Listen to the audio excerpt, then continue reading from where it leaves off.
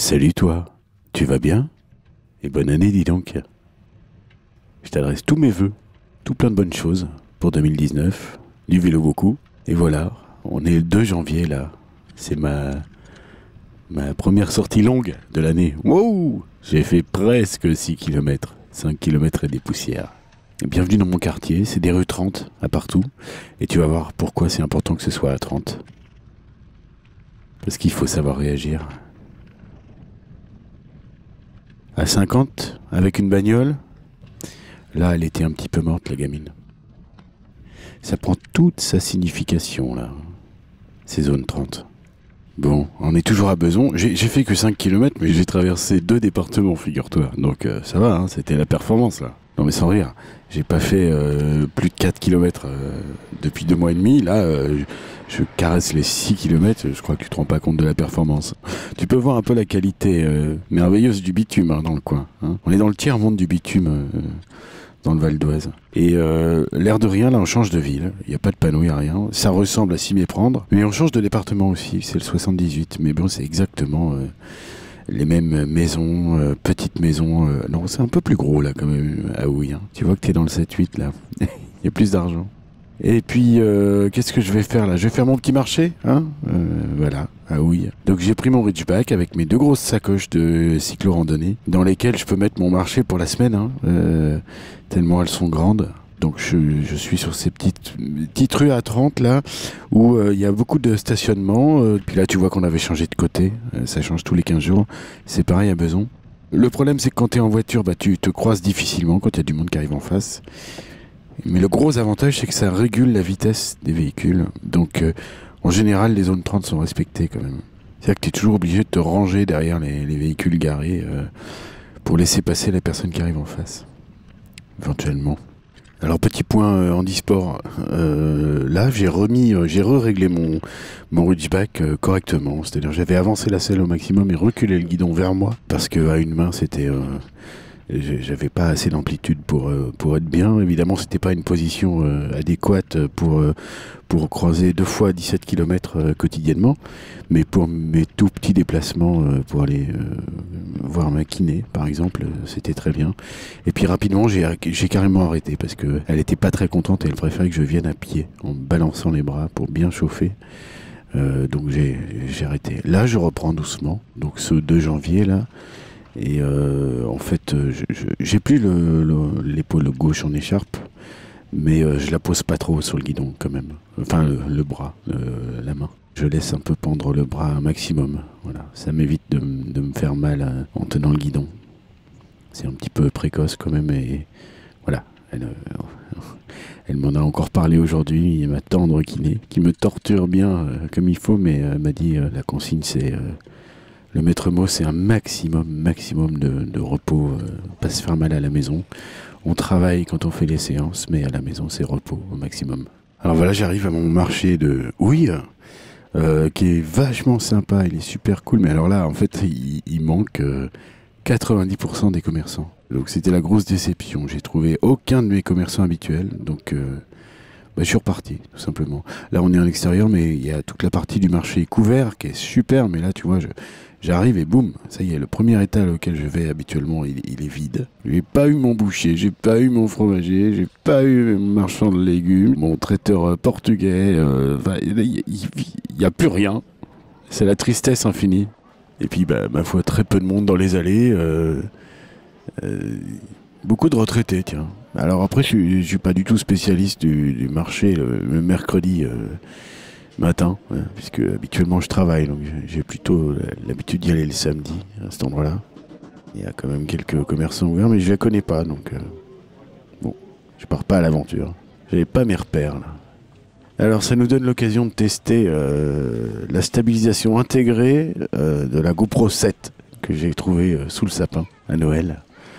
Euh, quelle n'était pas ma joie. J'ai beaucoup fantasmé sur cette caméra. GoPro Hero 7 Black, qui a un mode euh, qui s'appelle euh, l'Hyper Smooth, Hyper Smooth, c'est-à-dire l'équivalent d'un stabilisateur optique mécanique intégré. Mais bon, c'est pas mécanique, c'est intégré à la, caméra. Elle a exactement la même taille que ma, GoPro 5. Et voilà. Donc là, je teste. Alors bon, elle est fixée là sur la potence du vélo. Je marche à côté, évidemment. Je pousse le vélo dans les allées. Euh, habituellement, d'ailleurs, un, un dimanche normal, je, pourrais même pas circuler. J'ai déjà de la peine à circuler à pied euh, un dimanche normal euh, à ce marché. Donc euh, je le rentre pas. hein, je l'accroche euh, derrière. euh. Pas de ce côté-là, mais de l'autre. Du côté de la mairie, il y a des arceaux vélos qui sont très bien.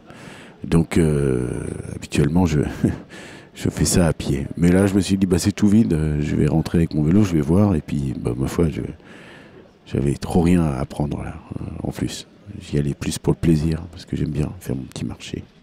Et donc, euh, j'en arrive à pourquoi je te fais cette délie observation avec un si petit trajet aussi minable, euh, qui passe pas dans Paris, qui m'emmène pas au travail, ou qui est pas une balade euh, plaisir. Euh, parce que là, en fait, ce que je te montre, c'est, bah, en fait, c'est un peu l'essence du déplacement à vélo dans un sens utilitaire. Voilà. Tu pars avec ton vélo, tes grosses, grosses sacoches. Encore une fois, elles sont vraiment énormes ces sacoches, donc j'en mets énormément dedans. Et tu vas juste euh, faire tes petites commissions parce que voilà, là, le, le parking il est blindé. Un dimanche, tu, tu circules pas. Je mettrais euh, une demi-heure à faire ces deux kilomètres et demi parce que il y a beaucoup de rues qui sont piétonnisées et pour accéder en voiture au parking, euh, c'est un peu l'enfer. Alors que à vélo, et ben c'est que du plaisir. Tu viens euh, à l'entrée du, du marché, tu te gares sur des stationnements euh, qui sont libres pour toi. C'est voilà, c'est pas du trajet quotidien, c'est du du pur trajet euh, utilitaire, comme tu peux faire quand tu as une course à faire. Voilà. Et c'est important ça parce que j'en j'en parle pas assez finalement. Euh, J'ai pas le réflexe de filmer, tu vois, sur des trajets comme ça. C'est tout petit, deux fois 3 km. Puis je me dis, voilà, au niveau pictural et tout ça, c'est pas forcément intéressant, mais c'est l'essence vraiment de, de l'utilitaire aussi. Ça. Ça te permet d'aller faire tes petites courses un peu plus loin. Là, je change de ville, je change de département. Je pourrais me contenter d'aller à pied euh, chez les artisans dans, dans mon quartier. Bon, il se trouve qu'il n'y en a pas beaucoup, donc par la force des choses, euh, grâce à mon vélo, je, je peux aller chercher plus loin. Euh, un bon poissonnier, par exemple. Il n'y a pas de poissonnier à Beson, tu vois. C'est tout bête. Hein. Cherche pas un magasin bio non plus, ça n'existe pas. Il y a très très peu de bouchers. Encore moins qui, qui nous ferait du, du jambon à la coupe, par exemple. hein. Voilà, parce que bah, clientèle oblige, bah, les, artisans s'adaptent. hein. Il y a beaucoup de gens qui mangent pas de cochon euh, dans ce coin-là du 95, donc euh, il y, a- peu d'offres aussi euh, pour te faire couper du jambon chez, le boucher ou le charcutier éventuellement. Il n'y a pas de charcutier à Beson non plus. Donc bah, je prends mon petit vélo pour aller chercher un petit peu les choses comme ça. je sais pas moi, les, les céréales bio de temps en temps. Je m'écoute parler là, je me dis, euh, je vais passer pour le bobo écolo quinoa là. c'est pas du tout vrai, c'est pas du tout vrai. On se fait des gros McDo en famille aussi. hein. c'est pas du tout. euh, et puis on, on- voilà, bref, je suis pas dans le cliché. hein. j'en connais, j'en connais, je respecte, mais c'est pas mon cas, tellement pas. Et puis ah oui aussi, je trouve, euh, bah bon, un grand, un grand magasin de surgelés, hein, pour ne pas le nommer, euh, que je trouve pas besoin non plus. Bon bref, voilà. hein. J'arrive quand même d'une vie où pendant 22 ans, euh, il fallait que je fasse euh, 100 mètres à pied pour trouver euh, 10 boulangeries, euh, 4 bouchers, euh, 4 primeurs. Il n'y a pas de primeurs non plus à Beson. J'attends le marché patiemment, mais il n'y a pas de vrais artisans qui vendent des fruits et légumes. Et comme je suis pas un fan de la grande distribution, de, des hypermarchés, voilà, j'aime pas. Je suis pas à l'aise dans les hypermarchés, c'est trop grand pour moi. Je préfère me bouger avec mon petit vélo. Bon voilà, le chapitre euh, vélo utilitaire, euh, faire tes petites courses euh, à vélo. Je découvre un peu ça, voilà, j'avais pas l'habitude. À Paris, je faisais tout à pied avec ma petite poussette parce que tout était à profusion juste à côté.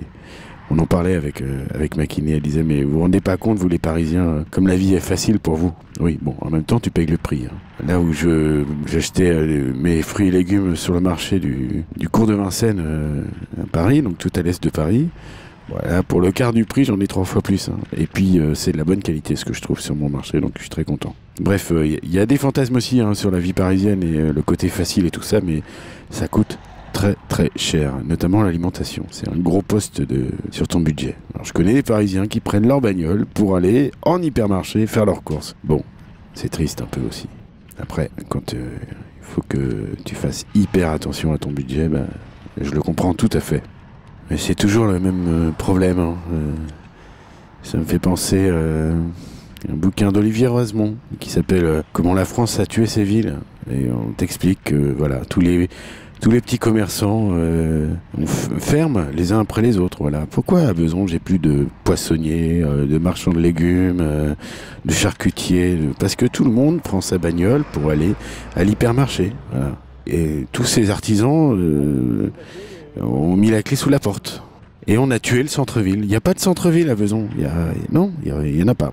Mais plus la ville sera piétonne ou cyclable, et franchement, euh, dans toutes les villes environnantes, Beson, euh, c'est vraiment pas les pires, c'est même plutôt super encourageant. Euh, il y a du petit cyclable un peu partout et c'est super agréable.